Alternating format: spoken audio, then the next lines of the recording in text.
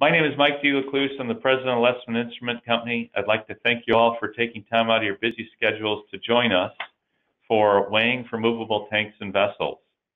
Today, Steve Watson of Minebea Intec is going to talk about the challenges of getting continuous and periodic weighing for tanks and vessels on wheels. In this 45 minute webinar, Steve's going to talk about process of improvement through weighing mobile tanks and vessels, some of the hardware requirements for weighing mobile vessels, uh, evaluating your application, some of the limitations, uh, an application checklist, some of the things you need to think about for stationary uh, versus movable. Uh, Steve currently serves as product and technical trainer for Minebea Intec with a focus on complex tanks and hopper applications as well as high resolution industrial scale installations.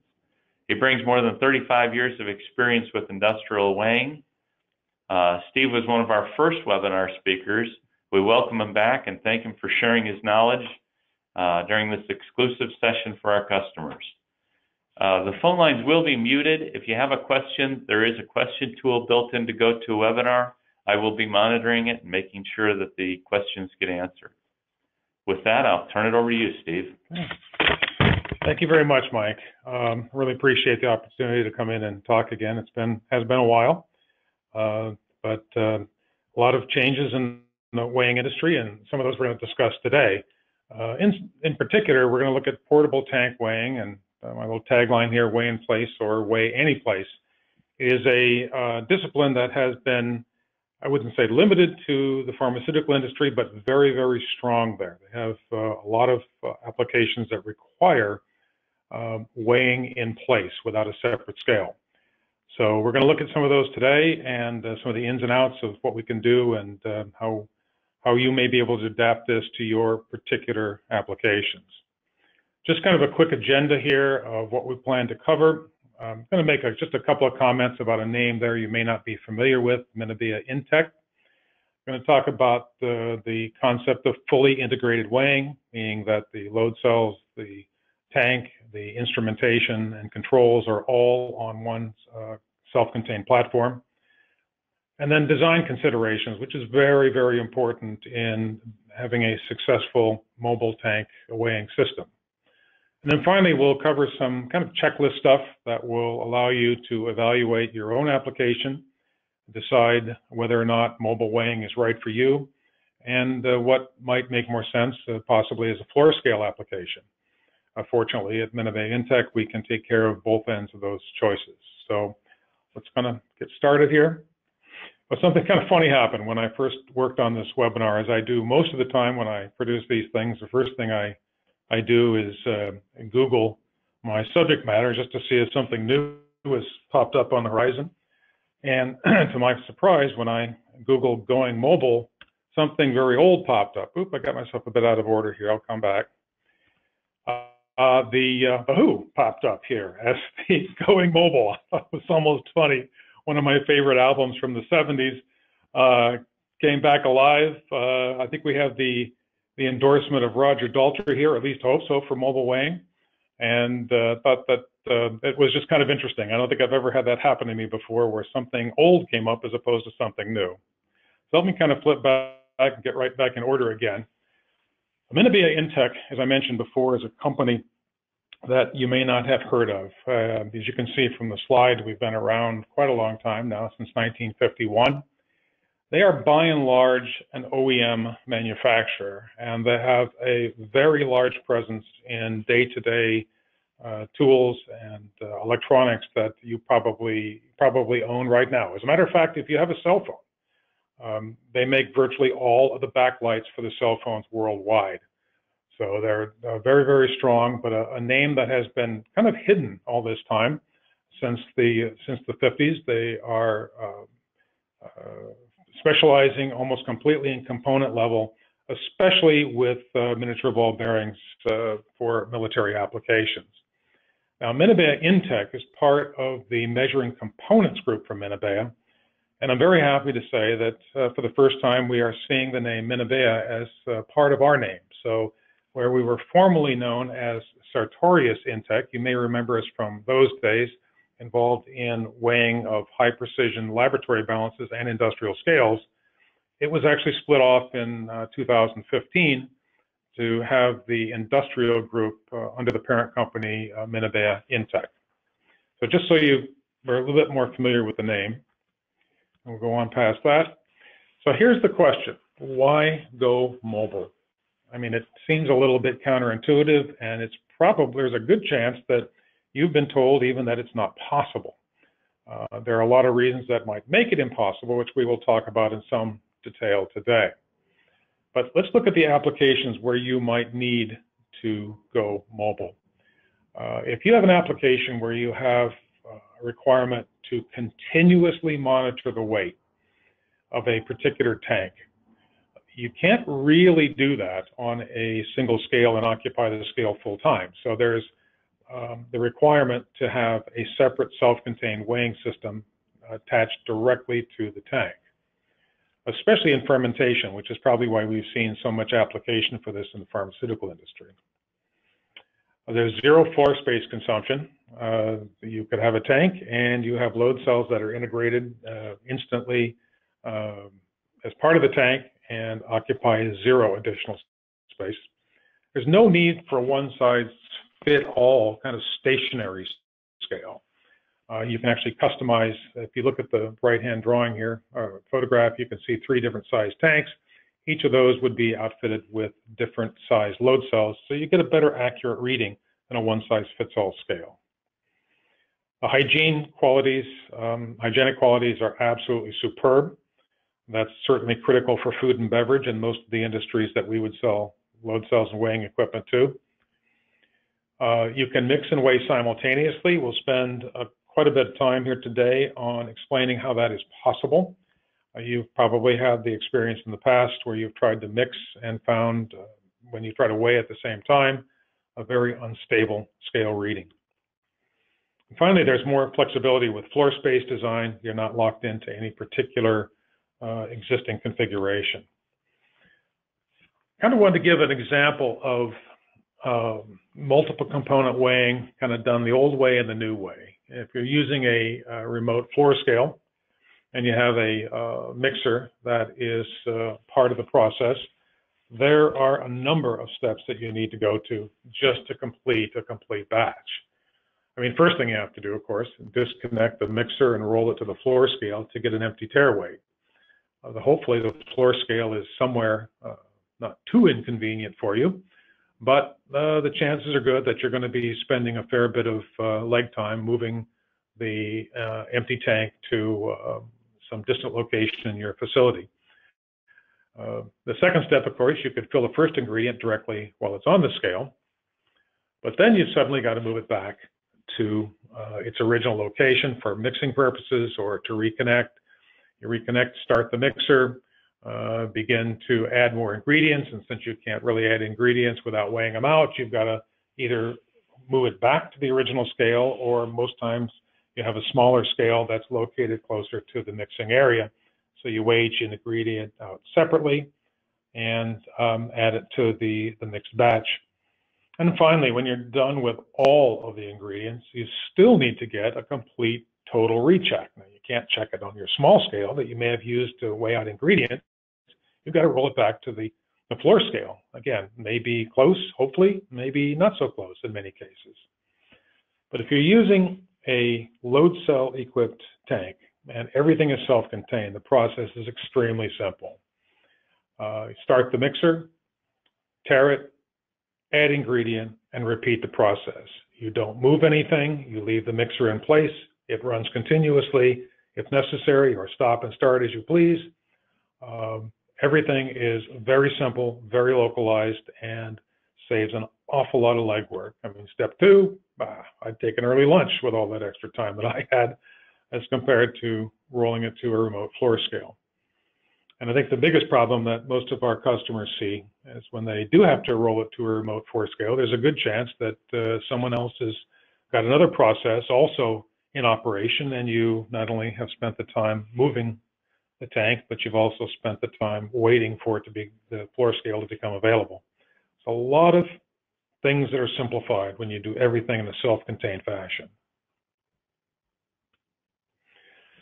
So what could possibly go wrong with a floor scale? What aren't those famous last words? Um, they, uh, a lot of things can go wrong. There are basically two ways that you can use a floor scale. The first one is, is a very common installation that you probably have in your facility now called flush mounted floor scales. The flush mounted floor scales are, um, there's a pit that's dug um, in the concrete typically. There's a liner in the pit that um, contains the concrete and keeps it all intact. Uh, then the scale fits exactly in that uh, dimension of the pit so that when you roll something onto it, it's completely flush with the floor.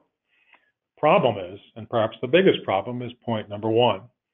Pit mounted scales are notorious bacteria collection points. There are a number of uh, pits that are designed with curved edges. There are a number of different attempts of flushing out these pits. Unfortunately, there's almost always a crack or a crevice or a corner where uh, debris and bacteria build up. Um, the scale platform itself is quite heavy. Nobody ever wants to lift it up, look underneath, and see what's really going on below the scale. It's a uh, heavy, complicated job to do so and difficult to clean out when you find the problem. The pit mounted scales do limit your future floor usage plans. Uh, processes change, things change all the time. And a pit mounted floor scale uh, in one decade may not have the same usefulness in another decade where the entire business has changed. Uh, what you're left with, if you decide that the pit mounted scale or a scale at all is no longer useful, is a hole in the floor. Something that can be uh, expensive to repair and replace, and perhaps even impossible if that's in a clean room environment. Uh, pit mounted scales are very difficult to retrofit in an existing building, and we see this quite a bit in clean room applications. If we are having to uh, jackhammer concrete, that's just not going to work in most existing facilities, not if there is actually production going on. So if you already have a environment in which you need to get your weighing done, it may not be a, uh, a good, uh, good solution to plan on having a pit mounted floor scale. Now, there are limitations to low profile, which are pitless scales, which is definitely a big advantage. It's a big step forward over pit mounted scales, but there's still some liabilities here as well. Um, the ramps, of course, while they are um, very low, uh, they're only up to perhaps one, one and a half inches uh, from the floor, still get increasingly heavy, especially as you roll a, uh, a very heavy tank that's gaining weight as components are added to it. If you have a tank that is uh, four or five hundred, a thousand pounds, even moving it up a uh, a low profile ramp can be difficult and uh, uh, perhaps too difficult for some of your employees to handle. The continuous mixing on floor scales will cause unstable readings in just about every case. Uh, the design of the load cells that are used in all floor scales are perfect for stationary momentary reading. They do not work well when there's agitation or other temperature changes going on above the, uh, the platform level. Uh, almost in every case, uh, when you turn on the mixer on a floor scale, the uh, change in weight reading will be very obvious and too unstable for actual usage. Even with very short ramps on low profile, we've had some problems with the safety officers and a number of our big customers. Um, the the problem with a, a ramp, um, even if you can navigate up the ramp uh, easily enough, you usually are looking forward. It is very much a tripping hazard, and we've had uh, quite a lot of concerns where um, even with small, short, and low low ramps, uh, the possibility of people carrying material in their hands and not looking down uh, as they approach the scale, uh, possibly tripping and falling, uh, is a serious safety concern for a lot of our big customers. So um, while the low profile pitless scales are certainly a, uh, a big step forward over the uh, flush mounted scales, they still have their limitations where tank weighing is concerned. In fact, if you really look at the whole picture, you're kind of navigating around building fixtures, other tanks, or through doorways and so on to get to a remote scale. In some cases, may even be impossible. You may Um, the only other option would be to equip the tank with the load cells or purchase a separate floor scale to be used in a different area. It just may not be possible to move a tank from point A to B in a lot of congested areas.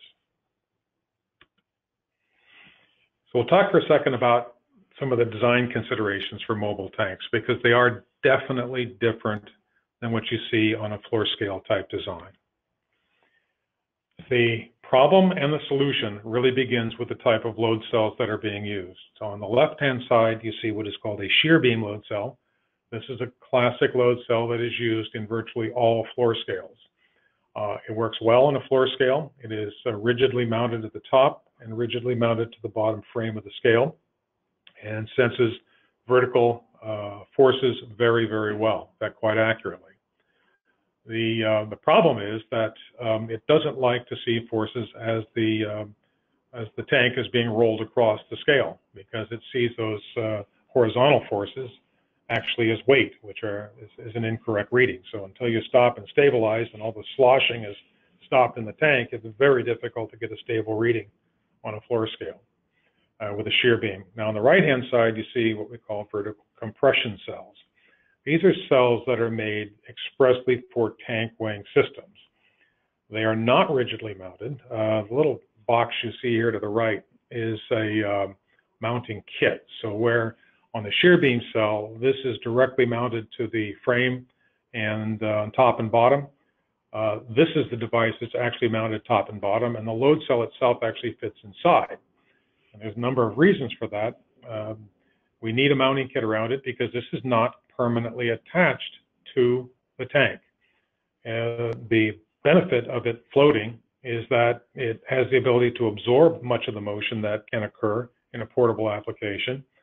Um, but at the same time, um, it senses only the vertical forces that are coming at actually measuring the weight that's placed on it. It's only the weight that is placed on it and sensed vertically is a valid weight value for your purposes. I kind of look a little bit more closely at shear beams and how they work and um, where the situations uh, can create a problem. In a perfect world, you've got a stationary item sitting on top of the load cell, on top of the, the platform of the scale, and this is attached to the load cell. It's stable, it's not moving, and you get a perfect downforce, and it represents a, a very accurate weight. Works great for uh, non-tank applications.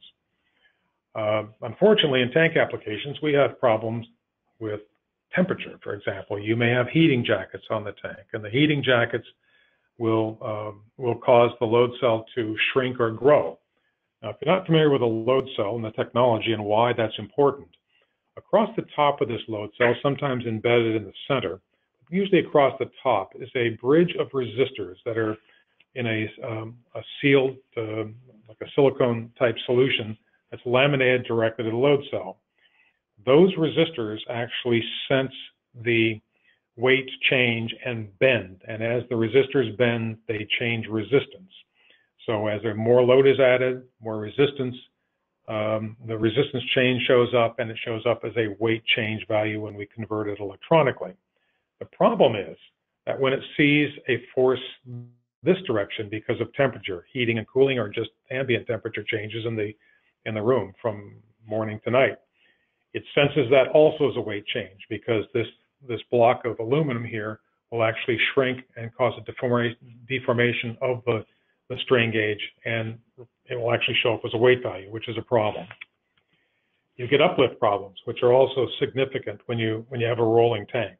If you've tried to roll a tank across a floor, I don't think I've ever missed a, a drain grate yet. And the possibility of bouncing over thresholds and other obstacles that might be in the way that you might not see are going to cause this entire um, the frame and the entire tank to uplift on this cell. And that uplift will also be interpreted as a weight value and create a problem as far as getting an accurate reading. Probably the worst one is the torsional forces.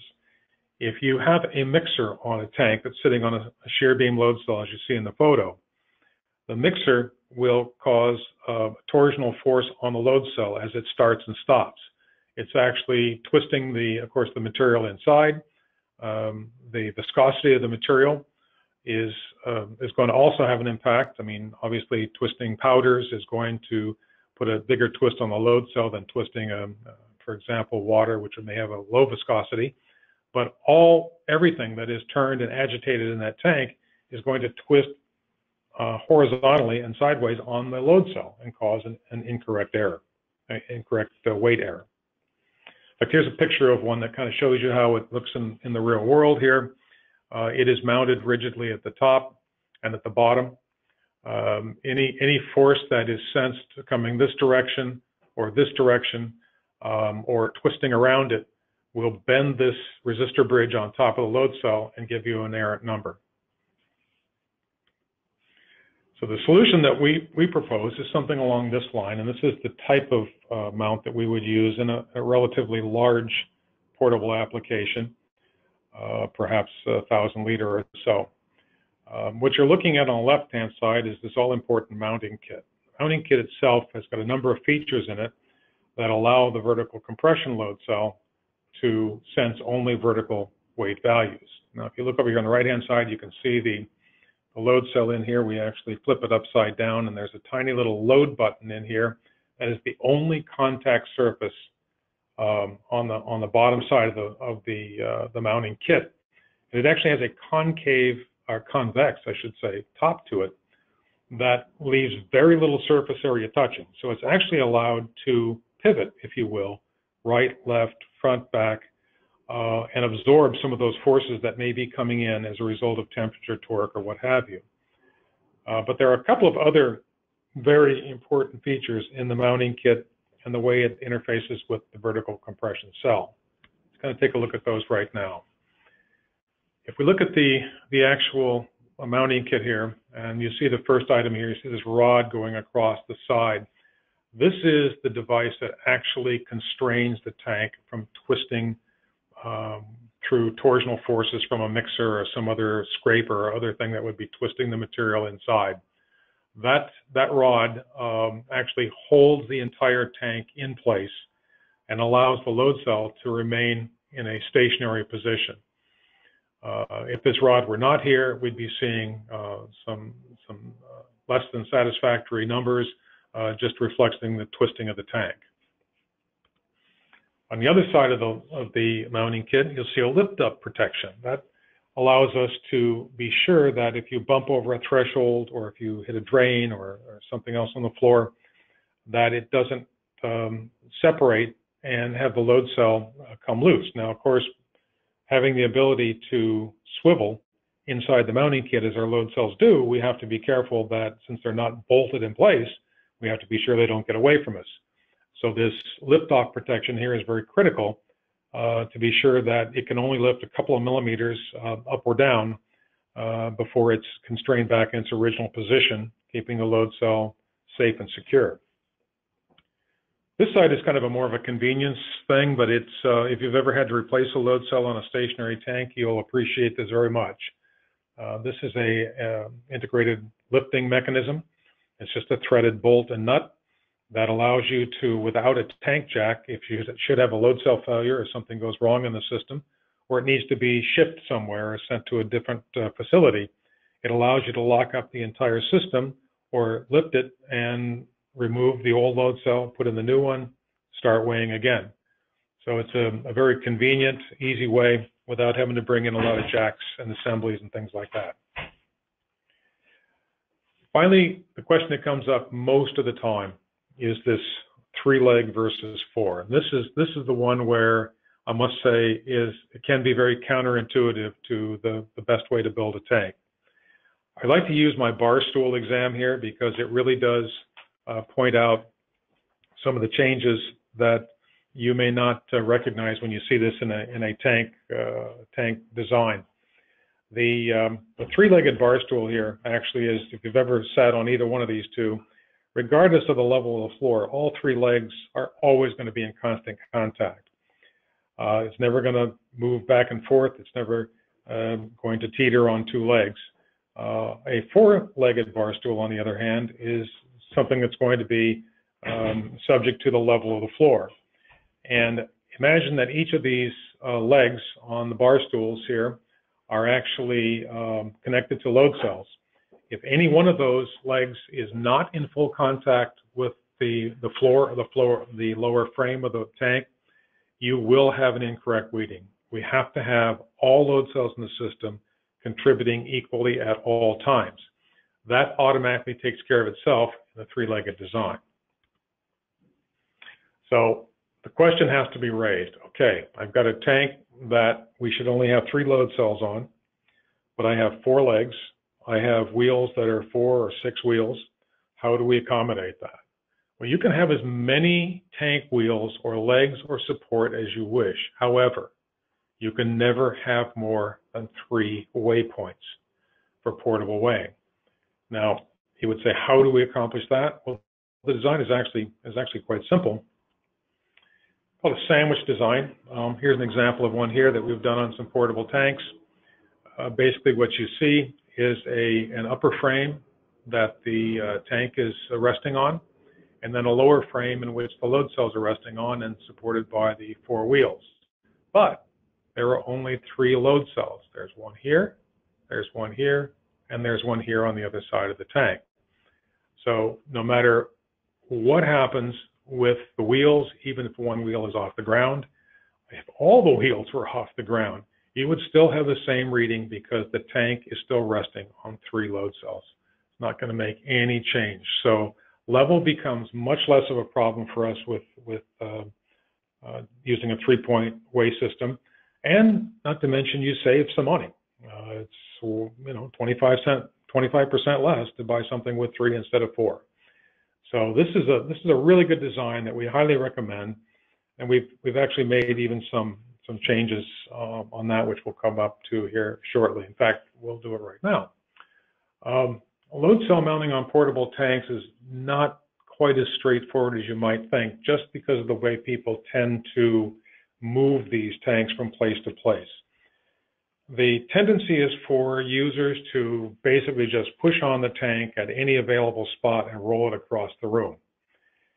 The constrainers that we showed you are represented in the drawing here and here, and then there's a constrained version here on the third leg. But the difficulty for us is that if a, if um, uh, a user was to push this tank from this side, we have no advantage of these two constrainers.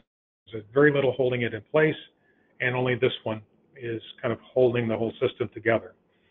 If you push from this direction, of course, we've got two very strong constrainers. This side, everything will work well, and you have the benefit of two constrainers pushing from the, the lower side.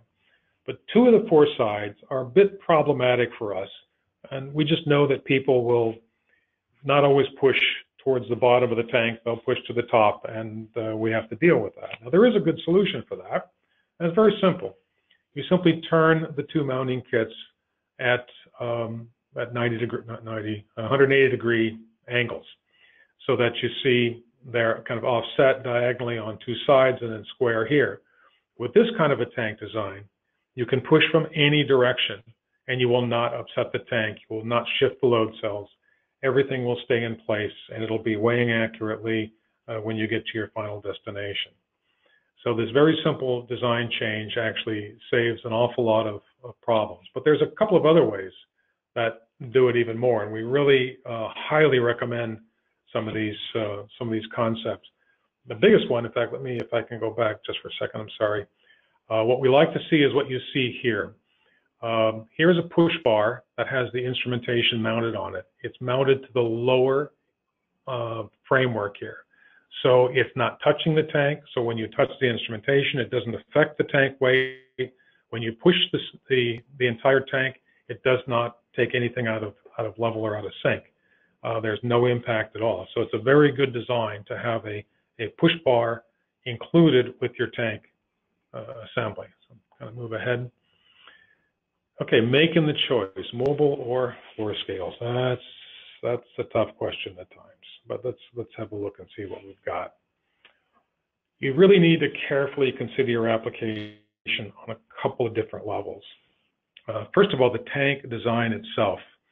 You know, use load cells that are appropriate to the capacity for the tank.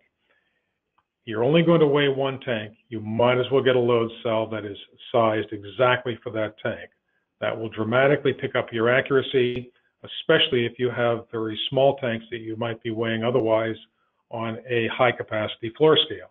You're not going to get the level of accuracy that you could if we very um, appropriately size the load cells to the weight of the tank. Filling and discharge piping should have some sort of a quick disconnect. Obviously, the tank is in motion. Uh, it would be uh, certainly to your advantage to to be able to uh, disconnect piping and discharge uh, filling piping very quickly and easily. Uh, provision for a push bar, we just talked about a second ago. That I think is one of the more important things that most people forget about.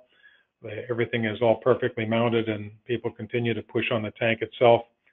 Um, it just leads to less than accurate results and usually we we start to see some shifting of the load cells in the, in the mounting kits if they push it from the wrong direction. So push bar just going to solve a lot of those problems and, and also provides a very convenient mounting point for the instrumentation. Uh, the weight display must be accessible, but yes, as we said a second ago, if you can mount it on the push bar, that's certainly the way to do it. The instrumentation you need is really a wild card. There's a lot of different tank scenarios. Some of them are very simple.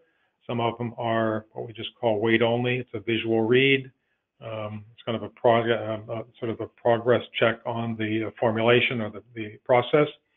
Um, and uh, then there are others that are far more sophisticated.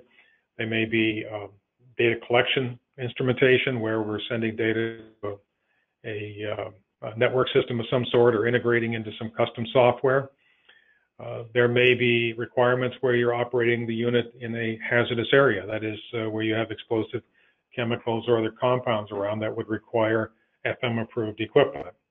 Fortunately, all load cells, all tank load cells themselves are already approved for all levels of hazardous operation. Instrumentation, however, is not. It is, uh, uh, it can be, and it has to be ordered special. Uh, there are a number of, of uh, hazardous area instruments on the market that will pass all FM uh, classes and divisions, but you have to be very specific about that. Some do not. And then, of course, washdown protection. If you're going to be in a high pressure washdown uh, scenario, you, you want to be sure that you have instrumentation that is able to withstand a direct hit with hot soapy water. All these things are available, but you have to be very specific about how you're going to use the tank as you start to think about what you're going to need for your portable tank design. Instrumentation compatibility is probably the question we get most of the time. We, we are often told that uh, with from our customers that they have a particular brand of instrument that has a proprietary communication protocol to their proprietary software, and there is no way they can change. Well, the good news is they don't have to change.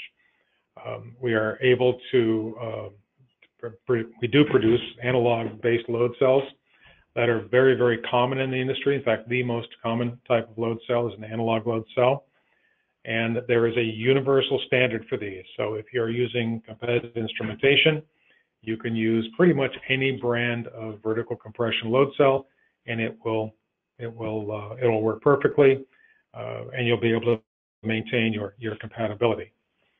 On the other hand, you've got a problem with digital load cells. Now, digital load cells are relatively rare on the market.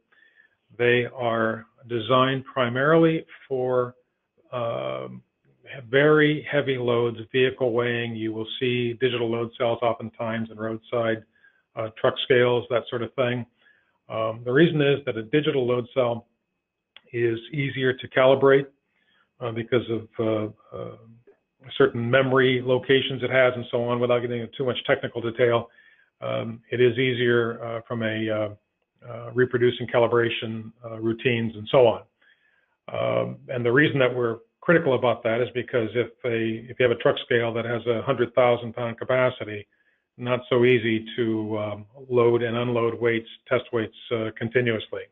This is very often not the case for portable tank weighing. Portable tank weighing by nature is usually limited to about a 2,000 pound tank maximum. Uh, there is no need to go with a digital load cell, but be aware if you are using digital instrumentation. It is certainly connected to digital load cells, and they are very specifically designed uh, to be used only with a single manufacturer. So if you have a if you have a Minebea Intec digital load cell, you will also have to have a Minebea Intec um, compatible instrument. So that's the one caution I would give you. But again, it's relatively unusual.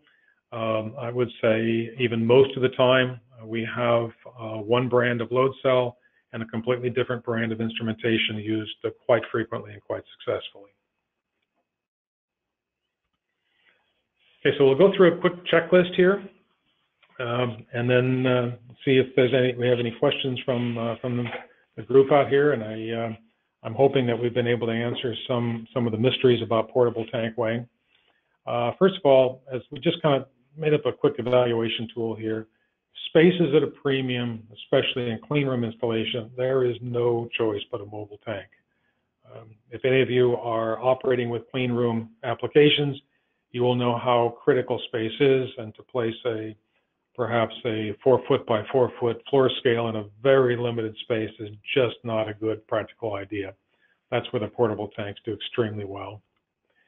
Now, depending on the accuracy, your accuracy requirements, and I would say this, most uh, portable tank applications and even stationary tank applications rarely exceed what we call 15,000 divisions. This would be a a, a relatively high accuracy level, but not an extreme accuracy level. If you are in a um, an application that requires extraordinarily high accuracy, perhaps one part in 30,000 or more, you may have to do that on a floor scale. Uh, the realities of and the physics of, of mobile weighing really dictates that we limit our accuracy range to one part in 15,000 uh, process materials that might be located in, in multiple locations. It's usually easier to move the, the scale to the, uh, the material than the material to the scale, in which case we highly recommend a mobile tank type design. If you have a wide range of tanks, uh, that's definite. Again, uh, you can customize small tanks, small load cell, large tanks, large load cell, get the maximum accuracy possible.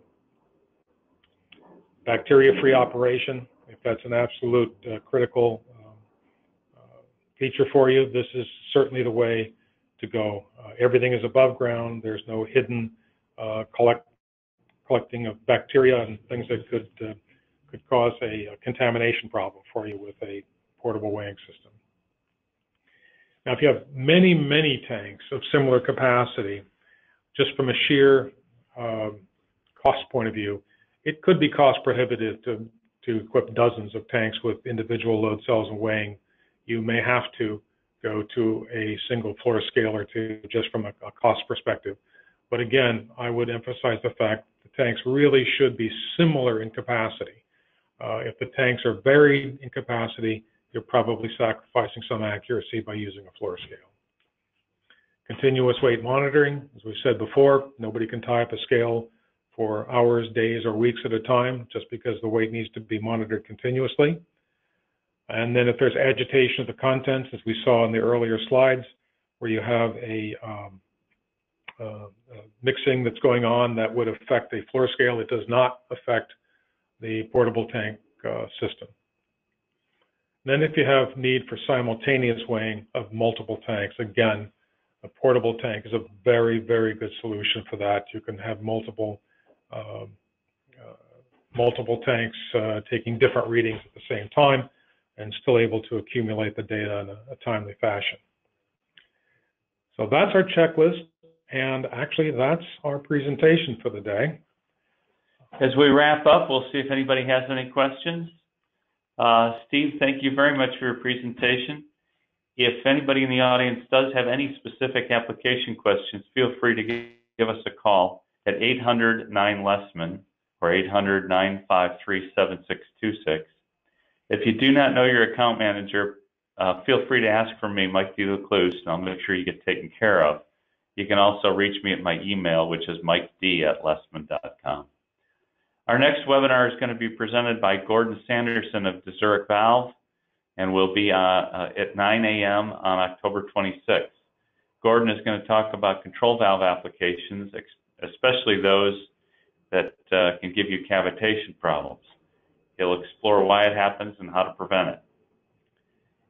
If you know, if you want to know more about the technologies with supply, please follow us on social media. Dan's blog is very active and has tons of great, tips. All of our webinars are posted both on our website and uh, on our Lesman Instrument Co. YouTube channel. If there are some topics you'd like us to cover in our webinars, please send me an email with the subject.